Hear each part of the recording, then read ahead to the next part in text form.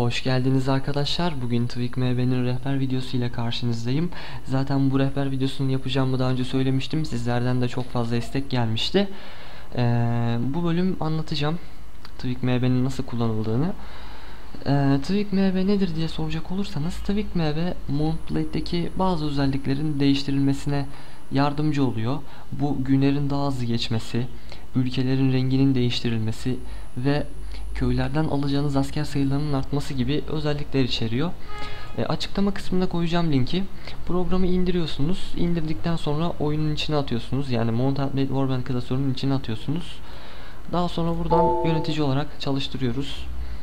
E, program açıldıktan sonra buradan Load Modül Warband diyoruz direkt. Native 1.153'ü seçiyoruz. Eğer versiyonunuz bundan daha fazlaysa da işliyor yani bir sıkıntı yok. Seçiyoruz bunu. Continue diyoruz. Ee, daha sonra buradan şey yapacağız. Ne yapacağız? Bu natif dosyasını bulacağız. İşte C program files e, modüles en sonda natif. Buradan buluyorum natifi. Tamam diyorum. Ayarları yüklüyor. Ayarları yükledikten sonra hemen size ben kendi bildiğim ayarları anlatmaya, göstermeye başlayayım. Şimdi birinci ayar. Bu nedir? Bu e, yağmalı köylerden çaldığınız sırların sizi takip etmesine olanak sağlar. Onlarla konuştuğunuz zaman orada bir seçenek çıkacak e, beni takip et diye. O hayvanların sizi takip etmesini sağlayabilirsiniz. İkinci özellik ülkelerin rengi. Buradan haydutların ve ülkelerin e, rengini değiştirebilirsiniz. Mesela Kerkitanlı'nın mor. Bunu ben turuncu yapayım mesela. Bu tarz değiştirebilirsiniz. Svadya'yı da mavi yapayım abi. Ee, buradan kendi ülkenizi ve sizin destekçileriniz var. Player Support'u sizin destekçileriniz. Player Faction'da sizin kendi ülkeniz. Mesela bunu da bu yapayım abi. Bunu da kırmızı yapayım. Bu tarz ülkelerin rengini değiştirebilirsiniz arkadaşlar. Ee, burada asker başına tüketilecek yemek var. Bunu bir yaparsanız gıdanız hiç bitmez arkadaşlar. Bir kere alacağınız gıda sizi bayağı götürür. Buradan onur kısmını görüyoruz. Görevleri yaptığınız zaman ya da lordları serbest bıraktığınız zaman alacağınız e, onur miktarı. Ben bunu salladım. Zaten bununla pek benim işim yok. Ama sizde eğer sizin işiniz varsa ilgileniyorsanız böyle onur kasmakla falan bunu hızlıca buradan yapabilirsiniz. E, bunu fazla kasmayın. Ondan sonra burada dikkat etmeniz gereken ilk ayar bu nedir? Bu hanlardan alacağınız asker sayısı maksimum minimum. Yani böyle paralı askerler veya arbeletçiler var ya minimum bende 147 en fazla 300 ee, siz bunu istediğiniz şekilde yapabilirsiniz. Ee, bunu da boş verin. Gene şeylerle alakalı ilişkilerle alakalı evlenince falan. Buradan yeteneklere geliyorum. Yetenekler en fazla 15 oluyor. Normalde oyunda 10 program sayesinde 15'e kadar çıkartabiliyorsunuz arkadaşlar. Ee, bir de grup yeteneği yaptığınız zaman tüm askerlerinize işliyor bu. Bunları da buradan böyle ayarlayabilirsiniz. Onun dışında arena ve e, turnuva sistemleri var. Buradan işte alacağınız parayı falan ayarlayabilirsiniz. Ama buna gerek olduğunu zannetmiyorum. Ama isterseniz yapabilirsiniz. E, onun dışında Battle Options var burada. Bu e, yaylardaki ok sayınız. Bende hepsi 100. Bende 100 tane ok var. Ee, siz bunu dilediğiniz şekilde yapabilirsiniz. 200, 300, 1000 hepsi oluyor ama 100 bence ideal. Onun dışında bunu geçin. Bu da harita büyüklüğü. Fazla bunu ellemenize gerek yok. Ee, bunlar X bir şeyleri savaşta yendiğiniz zaman falan. Onun dışında bakayım bu da önemli bir şey değil. Ha burada önemli bir şey var. Bu ee, bildiğiniz gibi ben kuşatma kulelerini ve merdivenlerini hemen bitiriyorum. 1 ila 2 saat arasında oyunda tabii ki de. O süreyi bunları bu şekilde yaparak düşürebilirsiniz. Bendeki ayarları yaparak hani 3-2-5-1 şeklinde yaparsanız siz de merdivenleri 6 saatte kuşatma kulelerini 20 saatte inşa edebilirsiniz.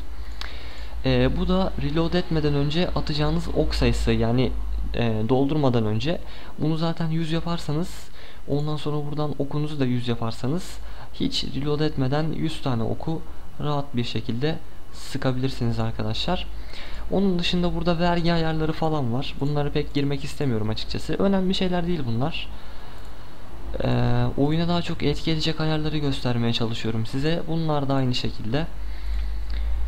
Ee, buradan evet moraller ve e, parti büyüklükleri yani grup büyüklükleri var. Burada AI Lord Partisi var. Ben bunu 650 yaptım. Ee, benim kral e, benim natif senaryosunda kralların çok fazla asker olmasının sebebi işte bundan dolayı kaynaklanıyor arkadaşlar. Bunu 650 yapıyorum. Eğer ki normal oyunda lordlar 200 askere kadar çıkıyorsa bu 2-3 kat artıyor. Krallar zaten 400-500 asker topluyor. O da onun 2-3 katına çıkıyor. Böylece 1000-1500 tarzı askerler görebiliyoruz oyunda. Siz de bunu 650 yaparsanız lordların askerleri benim gibi olur arkadaşlar.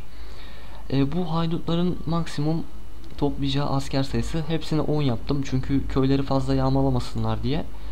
Aynı şekilde burada gene haydutlar. Ee, bunlar şeyle alakalı. Ee, neydi abi o? Companion'ınız yani yoldaşınız gruptan çıkmak isteyince onu durdurabiliyorsunuz sanırım. Öyle bir mevzu var. Bunları işaretlerseniz onu direkt yapabilirsiniz. Yani grubumuzdan çıkmazlar abi. Kafa rahat olur. Burada bizim şeyimizi görüyoruz. Bizim grubumuzu. Bunu 3000 yaparsanız e, grup kapasiteniz benim gibi yüksek sayılara ulaşacaktır arkadaşlar. Ee, bu da moral ayarları var burada gördüğünüz gibi. Bunları da benim gibi ayarlarsanız moraliniz düşmez. Hep yüksekte kalır. Çünkü özellikle bunun hakkında bayağı bir soru alıyordum. 1.80-91 şeklinde ayarlarsanız arkadaşlar sizin de moraliniz düşmez. Onun dışında burada esirler var. Esirleri görüyoruz. Burada ee, düşman lordlarının savaş sonrası kaçma olasılığı. Ben bunu %70 yaptım yani. Kaçma ihtimalleri daha çok. Oyunun zorluğunu arttırmak maksadıyla. Zaten bunu 10 yaparsanız her savaşta lord esir alırsınız.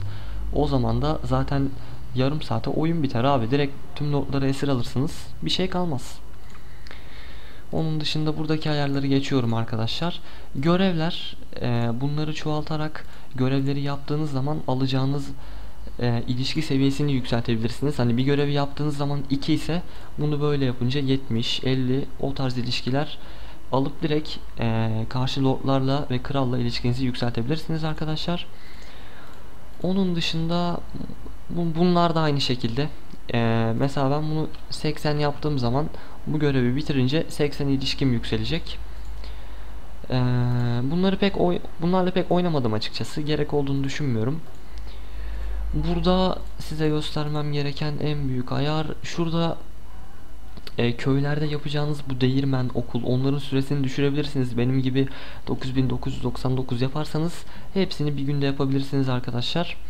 Aynı şekilde gene e, bunu da 10 yaparsanız katkı sağlayacaktır sürelerin düşümünde. Onun dışında bakıyorum bakıyorum buralarda zaten gerekli bir şeyler yok. Son olarak şurada önemli bir şey var. Ee, burada tam olarak hangisi bilmiyorum ama ben hepsini yaptım. Bu ayarları 20 yaptığınız zaman daha doğrusu bunlardan birini 20 yaptığınız zaman e, ben kafa rahat olsun diye hepsini 20 yaptım. Köylerden alacağınız asker sayısı arkadaşlar. Ben şu anda 20 alıyorum. En fazla bu 99'a kadar çıkıyordu sanırım. Ya da 200 falan oluyor muydu? Oluyordu oluyordu. Evet 200'e kadar falan çıkıyordu. Hatırlıyorum abi. Ben bir köyden şey alıyordum. Bir köyden 800 asker falan alıyordum kendi oynadığımda. Ama o kadar abartmaya gerek yok. Bende 20 siz dilerseniz 100 veya 200 tarzında ayarlayabilirsiniz bunları. Ee, evet bu rehber videosu da bu kadar arkadaşlar. Programı böylece tanıtmış olduk. Umarım e, ayarları nasıl yapacağını bilmeyenlere yardım etmiştir bu video. Ee, evet sonraki bölümlerde görüşmek üzere. Kendinize iyi bakın. Hoşçakalın arkadaşlar